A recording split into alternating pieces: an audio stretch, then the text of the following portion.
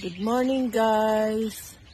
There's so many birds sleeping in the morning.